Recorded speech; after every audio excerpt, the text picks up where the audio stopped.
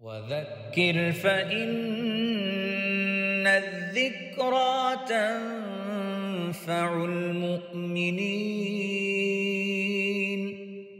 وما خلقت الجن والإنس إلا ليعبدون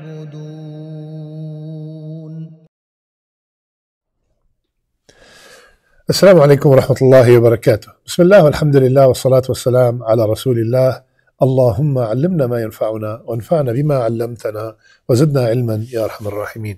We ask Allah عز وجل Teach us what benefit us Benefit us from what he taught us And increase us in knowledge. آمين يا رب العالمين My dear beloved respected honored brothers and sisters, I ask Allah Azza wa Jal to make us from the people who will witness the month of Ramadan and in the month to make us from the people who are fasting and praying qiyam and giving in charity and making a lot of dua and reading a lot of Quran and doing all kinds of good. Ameen Ya Rabbil Alameen. Today in our reminder, I want to discuss a question that we ask a lot and many people uh, inquire, Ya Sheikh, uh, I've been making uh, dua for such a long time and my dua is not answered. I don't see the, uh, the result of my dua. Why my dua is not being answered? Uh, I'm trying everything I can. So, inshallah ta'ala, in this short uh, talk today, we will discuss five main reasons why the dua is not answered. Okay? So, first, the number one reason is the dua itself is weak, and the person who's making dua, eh, he is also weak. Yani, he is making the dua in a way that, uh, in a careless way. ربنا آتنا في الدنيا حسنة وفي الآخرة حسنة وقنا wa النار. No, no life in the dua. The dua is coming from a heedless heart. No, nothing in the dua. Yani as if he's making dua as, you know, uh, because he he heard that you have you make dua, it will be answered. So there's no life in that dua. And Rasulullah said in the hadith is in Tirmidhi, you should know that Allah does not answer the dua that comes from a heedless heart. قلب لا so uh, the opposite is true. Huh? The dua, when I'm making the dua, I should put my heart in, in the dua. Yani, like they say, from the bottom of your heart, you're asking the dua, you're in dire need. You are feeling that you are so weak and Allah is the, is the most powerful. You are feeling that you are so poor and Allah is the all rich. You are, see, you are feeling you are so helpless and Allah is the Qadir. He's, he's capable of doing anything. So number one is having a heedless heart is the obstacle. Number two is the person himself has doubt in Allah's ability to answer the dua. So he's answering the dua, it, if it happened, it happened. Huh? So uh, he his trust in Allah subhanahu wa ta'ala answering the dua is is weak. And he would say, Oh, you know, this is cancer. How is this going to be cured? Huh?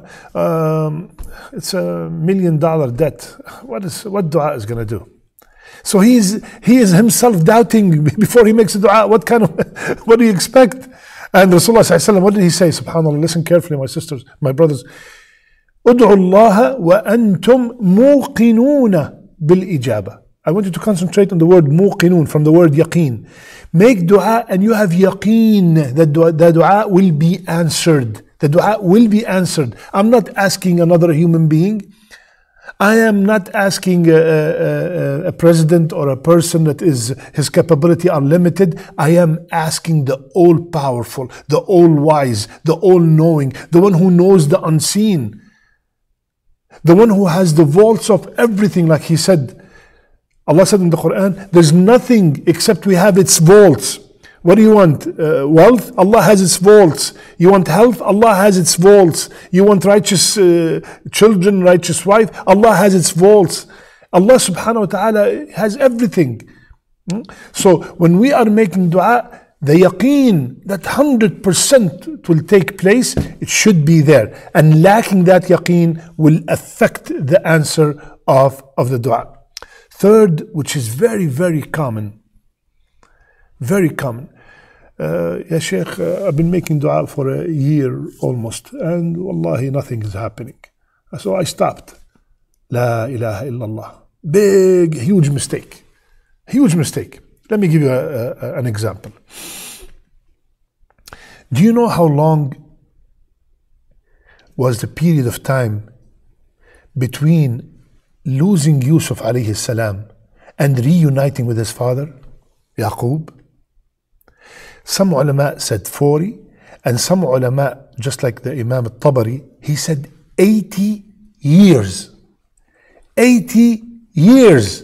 Yaqub, Yaqub, a prophet alayhi salam, he is the most beloved to Allah at that time, right? The, the, the, prophet of the time is the most beloved to Allah subhanahu wa ta'ala. He was the most beloved to Allah, making dua to reunite with his son. It took 80 years to answer the dua of Yaqub. And you did the dua for 8 minutes, 80 days, and you were surprised. Why is this happening? Ibrahim alayhi salam made dua, Ya Allah, send among them a prophet, a, person that will yuzakki him, that he will purify them and he will teach them your deen. It took thousands of years for the dua to be answered. So be patient, do not rush. Do not rush. Rasulullah sallallahu alayhi wasallam, he said, the dua of any one of you will be answered by Allah as long as he does he uh, does not show impatience by saying, Yeah, I prayed to Allah and I prayed and my prayer was not answered. Hadith is in Bukhari. I prayed and I prayed and there was the answer, the dua was not answered, so I stopped praying. Subhanallah. The dua is up to you. The timing for the answer is up to Allah Azza wa Jal. It, it looks like, you know, somebody who uh, uh, bought a piece of land. He put the seeds. He watered the seeds. And then he waited one week, two weeks, three weeks, no fruits. He left the land and khalas, you know what? He gave up. No, the fruits are coming. Just be patient. Just be patient.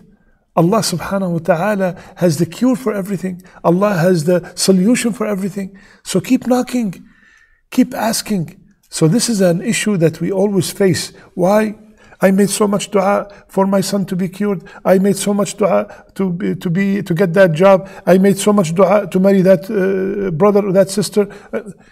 Leave it to Allah subhanahu wa ta'ala. Allah azza wa jal. He is the all expert. He is the all wise. Who are we? What is our knowledge compared to the knowledge of Allah subhanahu wa ta'ala? You are dealing, you are asking the one who knows what's going to happen tomorrow, what's going to happen in a million years. He knows. Allah subhanahu wa ta'ala knows, knows what's good for you and knows what's bad for you. So you just ask and you leave it to Allah subhanahu wa ta'ala and don't be hasty. Fourth, a major reason why the dua is not answered, and many people do not pay attention to this. And that is unlawful income, haram income. Haram income. A person who's dealing with riba all the time, a person who's selling and buying uh, alcohol or any haram, huh? he is asking Allah and he's wondering why my dua is not being answered. Rasulullah sallallahu alaihi wasallam, he told us the story about the man who's traveling. He is traveling, he's tired, he's in dire need, huh? and he's raising his hand and he's asking, but his food is from haram, his clothing is from haram, his drinks is from haram. You know, how How is he going to be answered? So my brother, my sister, if you notice that you've been making the dua, and uh, the dua is not being answered, one of the reasons you should check check your income. And wallahi, a side note, my brothers and sisters, please listen carefully. Wallahi, it's not worth it to get a penny from haram income. A penny.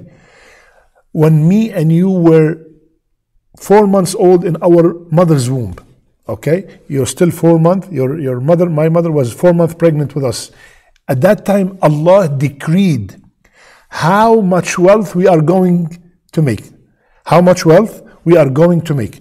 Let's assume that Allah said, uh, uh, this person, uh, Abdullah, he is going to make in his lifespan of 60, 70, 80 years, he is going to make $1 million. All his span, he's going to make $1 million. Abdullah will not die before he makes the million dollars. He will not die before the rizq is complete. Now, how does he make the million dollars? Goes back to Abdullah. Is he gonna earn it from halal? Is he gonna earn it from haram? Is he gonna rob it? Is he gonna steal it? Is he gonna inherit it? Somebody's gonna give it a gift to him. This is what's gonna Abdullah's decision. Okay? So the amount is still the same. How we earn it, it depends on us. So do not think that by you dealing with haram, that is going to make your income huge. That money is going to come to you anyway. Just seek the halal means and put your trust in Allah, and that wealth, that rizq is coming 100%. Okay?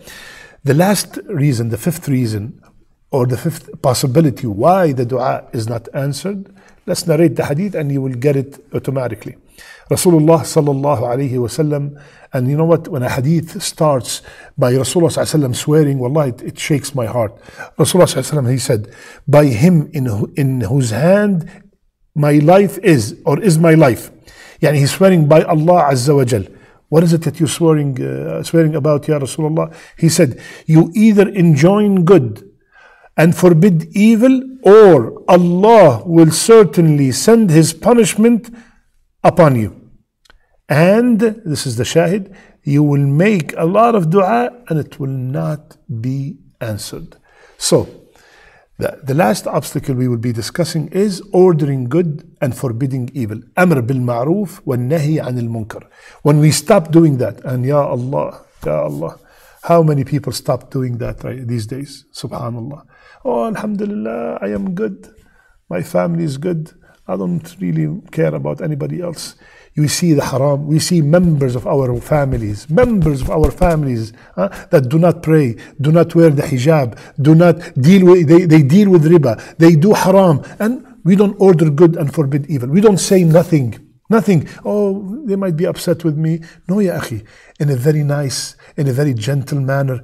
Order good and forbid evil. We're not telling you to beat people to, to obey Allah. This is not your job. Our job is to give the message, to remind the people, just like this, uh, this program, just a reminder. We are telling, we are reminding each other. We forget. Maybe your, your, your, your cousin who does not pray, maybe he did not know the, the, the, importance of prayer, the importance uh, of, of being consistent on the prayer, the danger of leaving the salat. Maybe the sister that you know that, that, does not wear the hijab, maybe she heard from somebody that it's not a, an obligation. She thought it's just an option as long as she is dressed uh, modestly, that's enough. No, you have to talk to her and explain to her the steps of the hijab kindly, gently. Do not be harsh. Allah subhanahu wa ta'ala said, لو كنت فظا غليظ القلب لانفضوا من حولك. If you are harsh, people will run away from you. No, our deen is to come in a nice and gentle manner. You know, so uh, ordering good and forbidding evil is one of the means to make the dua answered, and stopping it is one of the uh, obstacles of having our dua answered. My brothers and sisters, these are some of the reasons why the dua could be, why, why, what's the possibilities of the dua not being answered. May Allah subhanahu wa ta'ala answer all our dua. May Allah azza wa jal, I ask you, Ya Allah, with the best of your names. Ya Allah, for, for myself and for my brother Samir who's taping me and for my brother Basir and for all the brothers and sisters who are watching us. Ya Allah, make their last deeds their best deeds. Ya Allah, accept all their a'mal in Ramadan and outside of Ramadan. Ya Allah, bless us all with righteous children and righteous spouses. Ya Allah, Ya Kareem, forgive all our sins. Ya Allah, Bless us with sincerity in all that we say and all that we do. Ameen Ya Rabbil Alameen. I love you all for the sake of Allah. سبحانك اللهم بحمدك نشهد أن لا إله إلا أنت نستغفرك ونتوب إليك.